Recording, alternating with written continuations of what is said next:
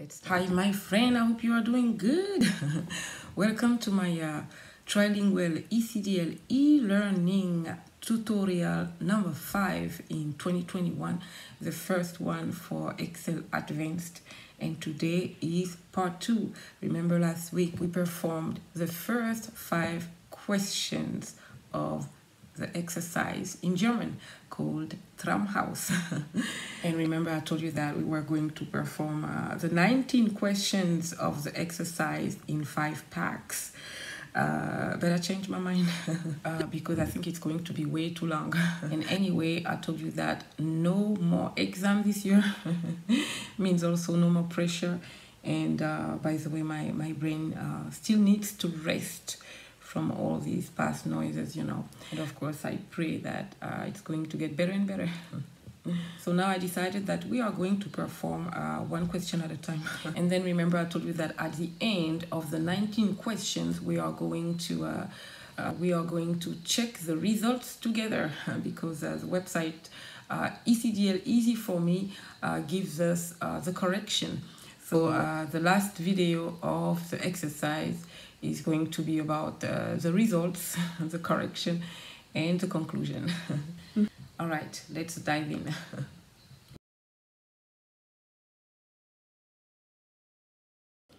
All right, now back to our instructions from uh, ECDL Easy For Me website. I hope you remember.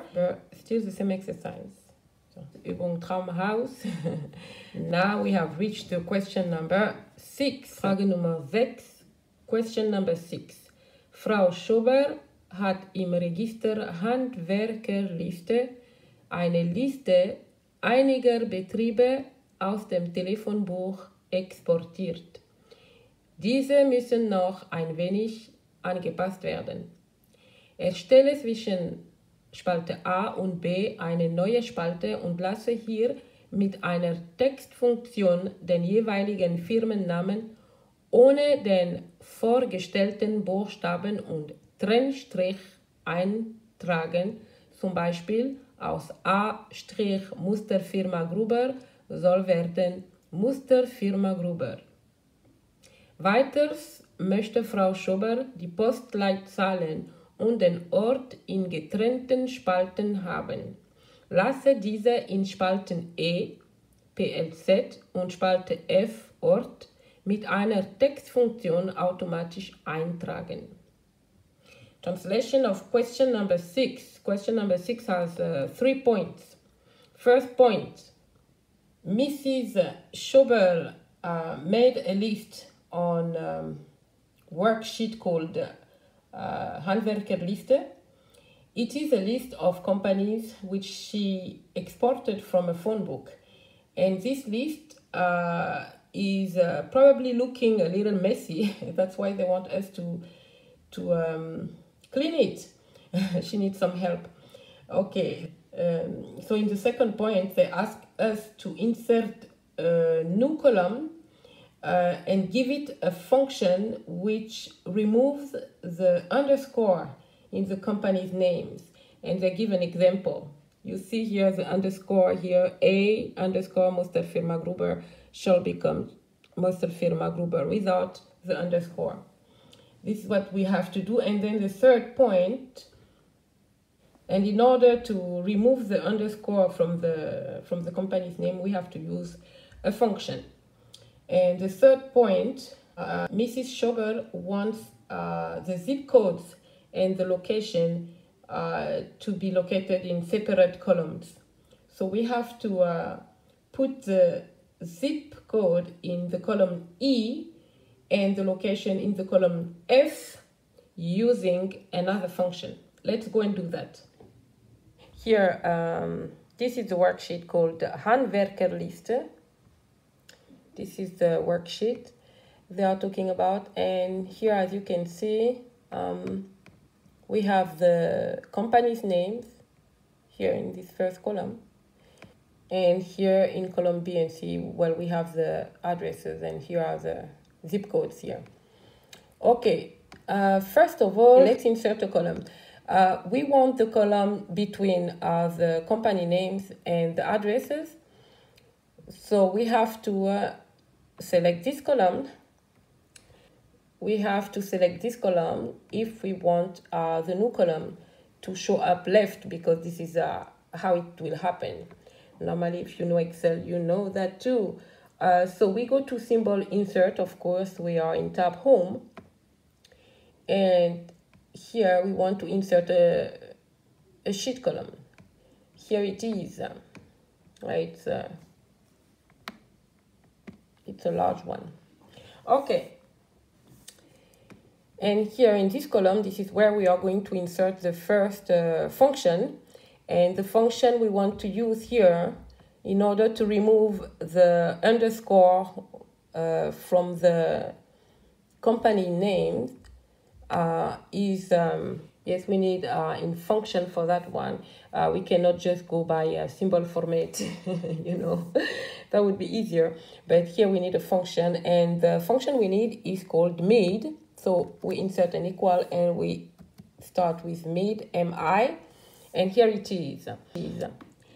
Mid returns the characters from the middle of a text string given a starting position and length.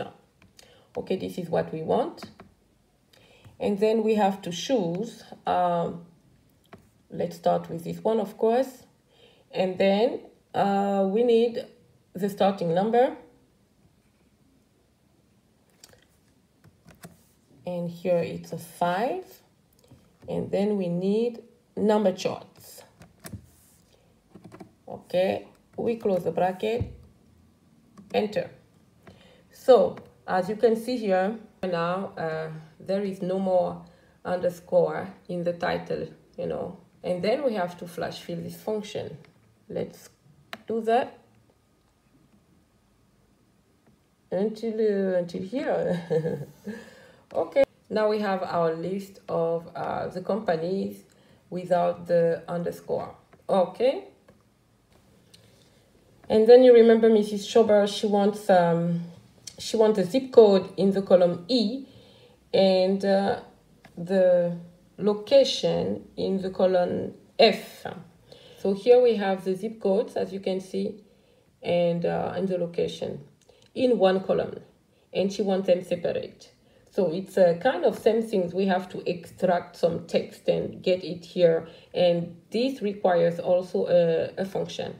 And the function needed here is equal left. This is the function needed, the first one. Let's choose this one. Okay, left, and then we need the text and the number charts. Okay, left. Why left? Because the information we need is located on the left-hand side. okay, and then uh, we have to choose the, the right cell, the cell we want. Here we start with the first one, D3. And from here, we have to choose uh, the column. The column is the one, two, three, and 4. So we put a 4 and then we can close the bracket. We hit enter. This is the zip code. You see the same one as here. So 8401, 8401, exactly like here. So what we can do now is flash fill. It's going to extract all zip codes and get the table clean. Okay, so we have them. You can see.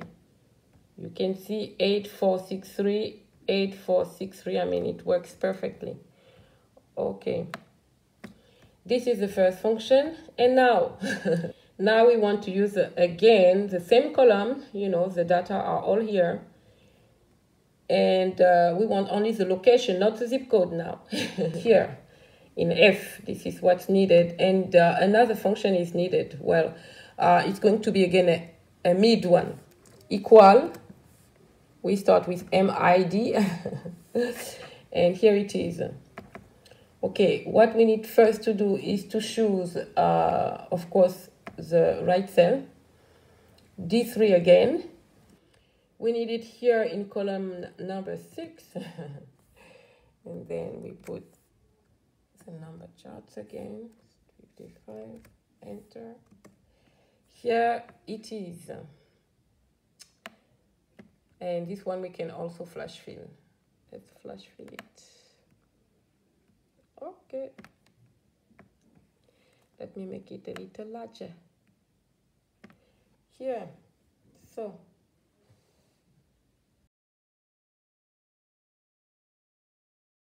all right thank you for watching and if god's willing the rest is coming next. Until then god bless you all in the name of the lord jesus christ. Bye bye